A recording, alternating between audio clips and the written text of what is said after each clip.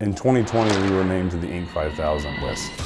It helps provide a, a, good culture and morale for our people to show them what they're doing matters and it helps us get out there and for customers to see who we are and what we do. fun saying we have in the office is we're not a one-trick pony um, and so this kind of helps us recognize that we're here for the long run and we're not going anywhere.